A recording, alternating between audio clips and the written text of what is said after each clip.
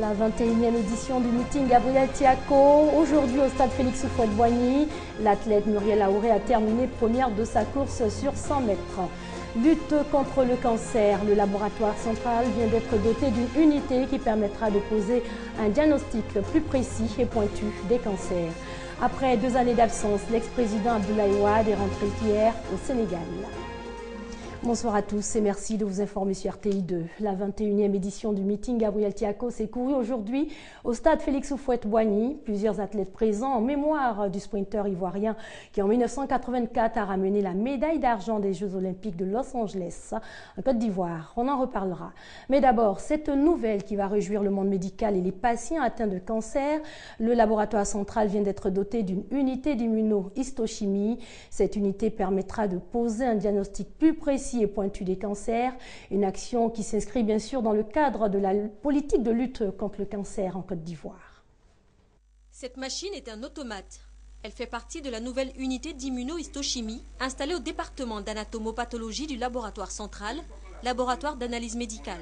La machine qui est là permet de mieux préciser le diagnostic d'un certain nombre de cancers afin de permettre aux cliniciens de mieux prendre en charge ces malades. La mise en place de cette unité améliore la qualité de la prise en charge des patients.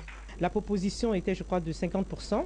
Et nous avons fait un plaidoyer avec le Premier ministre pour que nous passions à 60% pour que l'État de Côte d'Ivoire puisse également subventionner une partie des 40% qui restent. Je pense que c'est considérable lorsqu'on sait que mensuellement, un traitement euh, du cancer de façon générale coûte par mois au-delà de 300 à 400 000 pour un patient. Cette machine est le fruit du partenariat technique et financier qui lie le programme national de lutte contre le cancer et les laboratoires Roche. On ne pouvait pas vendre des médicaments dans un pays comme ça alors que les étapes initiales ne sont pas présentes.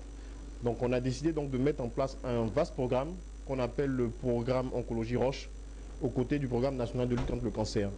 En plus de la remise officielle de cette unité, des communications scientifiques sur les cancers en Côte d'Ivoire sont prévues au cours de cette journée. Et puis toujours dans le domaine de la santé, hier c'était la journée mondiale consacrée à la lutte contre le paludisme. Le paludisme qui avec la tuberculose et le sida fait d'énormes dégâts. Pour vaincre ces fléaux, le Fonds mondial annonce un nouveau financement. Il est question de près de 2 milliards de dollars pour cette année. Reportage Patricia Omouetia. En Côte d'Ivoire, les fonds disponibles pour les interventions de santé ne suffisent pas pour répondre pleinement à la demande. Le Fonds mondial est une institution financière qui lutte contre le VIH, la tuberculose et le paludisme. Le Fonds mondial approuve donc une nouvelle démarche de financement qui prévoit plus de souplesse et un impact plus marqué pour vaincre le sida, la tuberculose et le paludisme. Pour nous, pour la Côte d'Ivoire, le Fonds mondial va allouer 125 milliards pour les trois années, c'est-à-dire 2014 à 2016, pour les trois maladies. Donc il y a une augmentation du financement du Fonds mondial. Donc c'est un effort qui a été fait de la part du Fonds mondial parce que de 2003 à 2013, c'est 119 milliards qui ont été effectivement décaissés pour la Côte d'Ivoire. Donc vous voyez que pour trois années, 125 euh, milliards, il y a un effort qui a été fait. L'enjeu est de taille pour ces trois maladies qui sont à la base d'un grand nombre de décès en Côte d'Ivoire. La nouveauté aujourd'hui, c'est que euh, il faut que le pays augmente ses dépenses de santé. Et le montant qu'on a exigé à, la Côte d'Ivoire, c'est de 20%. On nous a annoncé 260 millions de, dollars qu'on veut euh, donner à la Côte d'Ivoire, mais il faut que la Côte d'Ivoire fasse la preuve qu'elle a besoin de cet argent en contribuant pour 20%. Pour la gestionnaire portfolio au Fonds mondial, il convient au CCM Côte d'Ivoire, The Country Coordinating Mechanism, de juger de la pertinence des taux affectés aux différentes pathologies. La Côte d'Ivoire a déjà bénéficié de 249 millions de dollars du Fonds mondial dans la lutte contre le VIH, la tuberculose et le paludisme. Et on parle de cette opération de nettoyage qui s'est déroulée ce matin à la place Figayo de Yopougon. Cette activité de l'ambassade des États-Unis d'Amérique en Côte d'Ivoire en collaboration avec le programme recyclage ordures de Côte d'Ivoire s'inscrit dans le prolongement de la célébration de la Journée mondiale de la Terre. Elle vise à sensibiliser la population sur la nécessité de maintenir un cadre de vie propre et agréable. Cet espace est choisi par l'ambassade des États-Unis pour le lancement de l'opération Coup de balai dans la commune d'Abidjan. L'ambassadeur des États-Unis en Côte d'Ivoire, à travers cette action, entend apporter sa contribution dans la lutte contre l'insalubrité à Abidjan. Ce geste de mon ambassade, de mes collègues, euh, fait preuve de l'engagement du gouvernement et du peuple américain euh, dans la protection de l'environnement. Donc c'est dans ce contexte qu'on est là aujourd'hui à Yopougon aux côtés de nos amis ivoiriens. On donne un exemple, n'est-ce pas, euh, aux populations de Yopougon, aux populations d'Abidjan et aux Ivoiriens en général, qu'ils vont continuer, n'est-ce pas, à faire un effort euh, d'assainir leur propre ville. Une initiative saluée par le cinquième adjoint au maire de Yopougon qui veut faire de sa commune la vitrine de la propreté. C'est un sentiment de fierté pour nous parce que nous voulons que Yopougon soit une commune école pour l'environnement. C'est pour éveiller la conscience de tous les habitants de Yopougon. Avik Patage, le président de l'organisation non gouvernementale PARO, programme recyclage d'ordures de Côte d'Ivoire. Il s'agit euh, de passer un message pour dire que nous n'avons pas forcément besoin d'appui assez fort. au plan individuel et collectif, nous pouvons développer des actions pour euh, arriver à maintenir notre cadre de vie immédiat propre. Après Yopougon, les autres communes d'Abidjan vont bénéficier de cette opération dont l'objectif est de redonner à Abidjan un visage plus reluisant.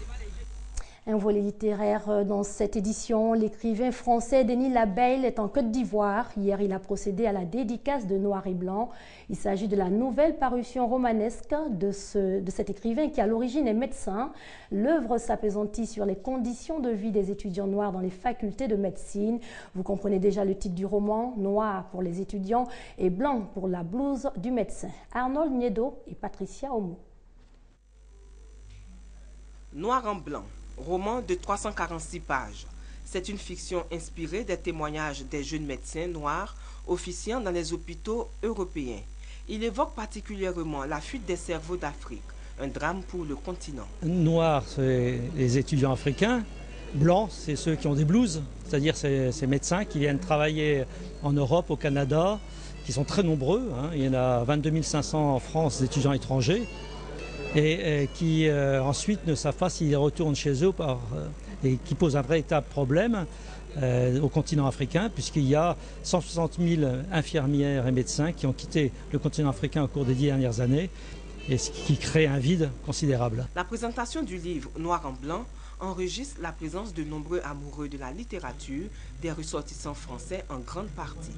Cette présentation de l'auteur français Denis Labelle à son 18e ouvrage s'inscrit dans le cadre des escales littéraires. Tournée littéraire qui consiste à sortir les écrivains de leur environnement et leur faire présenter leur œuvre dans des pays qui leur sont étrangers. Le but est de créer un brassage entre écrivains et lecteurs de tout horizon.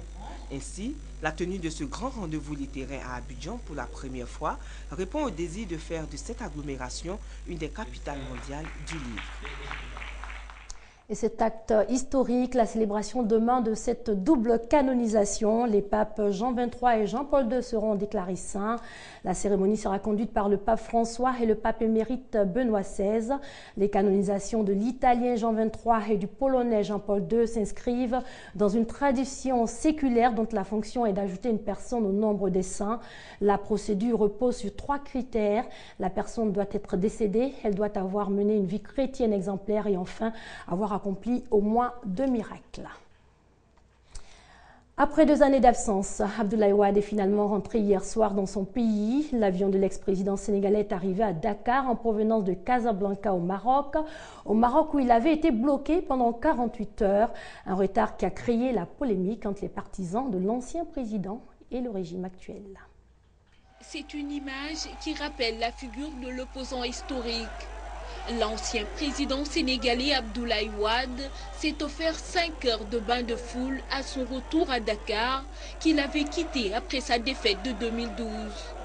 Ses partisans ont bravé l'interdiction préfectorale de monter en cortège, déjouant malgré tout le fort dispositif de la gendarmerie nationale. C'est en écoutant les souffrances de mon peuple aussi que j'ai décidé de venir pour l'écouter et pour lui indiquer les solutions Parce que les solutions, elles existent. Nous ne pouvons pas continuer à laisser le Sénégal se détériorer de cette façon. Ce retour de Wad s'est fait tard dans la soirée en provenance de Casablanca au Maroc, où il avait été bloqué pendant 48 heures. Un retard dont ses partisans et le régime de son successeur Macky Sall se rejettent la responsabilité, mais qui n'a pas découragé ses partisans, plus motivés que jamais par l'arrivée de leur leader. On était dans le noir. Et par la grâce de Dieu, notre leader revient nous éclairer. Nous sommes contents car Abdoulaye Wade est un rassembleur. L'arrivée du leader du PDS intervient à presque deux mois des élections municipales et départementales, alors que son parti a connu des départs de taille, notamment vers la nouvelle majorité et sur fond de querelles de leaders mais aussi du jugement prévu en juin de son fils Karim Wade pour enrichissement illicite présumé. Concernant les résultats du premier tour de l'élection présidentielle en Afghanistan, l'ex-chef de la diplomatie Abdullah Abdullah est arrivé en tête avec 44,9% des suffrages exprimés contre 31,5% pour Ashraf Ghani. Les deux hommes devraient s'affronter au second tour du scrutin, selon bien sûr ces résultats provisoires publiés aujourd'hui. La présidentielle en Mauritanie, elle, est fixée au 21 juin prochain. Le président Mohamed Ould Abdel sera candidat. Le chef de l'État mauritanien qui a précisé que la demande de l'opposition relative au report du scrutin n'était pas pertinente. Le président mauritanien posant la première pierre dans l'Institut d'hépatovirologie à Nouakchott, en geste aux airs de pré-campagne électorale, mais surtout une occasion pour Ould Abdelaziz d'annoncer sa candidature à l'élection présidentielle prévue en juin prochain en Mauritanie. Le champ est ouvert à tous. Et en tant que président en exercice, j'annonce ma candidature à l'élection présidentielle.